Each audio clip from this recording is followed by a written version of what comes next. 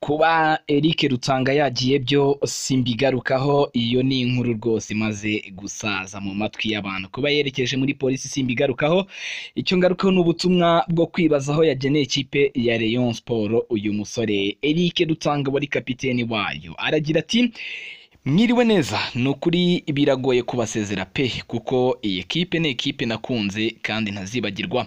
Nubwo ngiye mu wundi muryango gusa n'ubu ntibinyoroheye kuko ndabizi ntandukanye n'inshuti nyinshi ndetse yari nka famili gusa uwo musanzu ndawemeye nzajya nkutanga nabuze amahitamo narategereje narihanganye. Ariko murabizi mfite famili kandi nta kandi kazi mfite.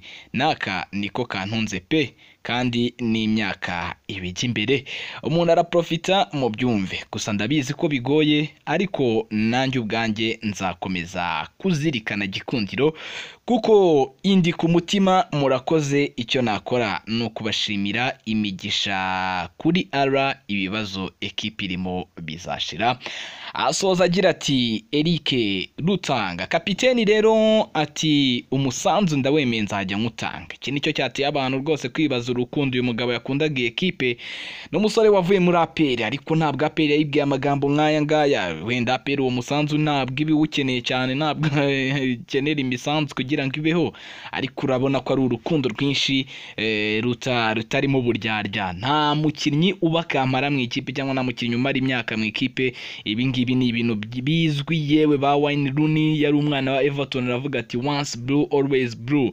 Igihe yabivuze za bibiri na gatatu. Iyi kipe aza kuyivamo yerekeza muri Manchester United. Nubwo bwose yagarutse muri Everton ariko abafana ba Everton buri gihe baravugaga bati wowe waratubeshye watubwiye ko utazava mu ikipe yacu ukiri umwana. So kuri Rutanga ntabwo yabeshye. Ntabwo ikipe ari ubuzima ntabwo ikipe ariho hantu honyine wa, wa, wa, waba. Ugomba no kujya ahandi ugakora akazi ugatunga umuryango. Afite umugore afite umwana. Uyu nguyu rero akeneye kujya ahandi.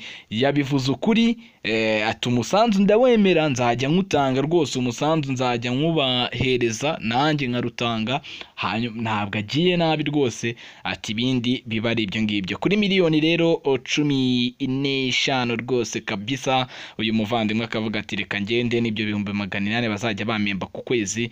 Ibindi bizabe ubundi. Musore wakuriye muri aperi rwose ariko urumva ko hari urukundo rwinshi akunda Rayon Sport akayisabira kuri Allah ati imigisha eh, yose ndayibasabira. Yagiye afasha Rayon Sport cyane abariyo nabonye bari abagiye bambwira bati rwose unatwibutse bya bihe. Hari kufura abantu batazibagirwa yakubise ikipe ya APR ubwo yari akiyivamo uyu nguyu rwose yayikubise kufura ikomeye cyane iremereye yahesheje Rayon Sport igikombe cy'agaciro k'umwaka w'ibihumbi bibiri na cumi na karindwi na cumi n'umunani. Hanyuma kandi uretse n'iyo kufura iremereye ntabwo abantu bazibagirwa amakufura yagiye atera mu mikino ya Confederations Cup. Uyu nguyu rwose rutanga eh, iyo n'indi kufura yateye ntabwo abantu bazibagirwa asiste nyinshi yagiye aho uwo bita Bimenyimana Bonfils Caleb. Ni palmarès nyinshi. Hari bamwe ntabwo umuntu akundwa na bose arabo numvishe bati n'ubundi ntagende nta bitangaza. Ati ntabwo ari we kamarareo yabuze benshi ariko yari umukinnyi ukomeye wabyanga wabyemera. Kapiteni aba ari kapiteni. Ni byinshi ikipe izamwibukiraho. Ni rutanga haba mu mvura haba ku zuba witangiye ikipe ya Rayon Sport so abantu rero bazamukumbura cyane rutanga Eric cyangwa se Akram naryo ni irindi zina ryiwe.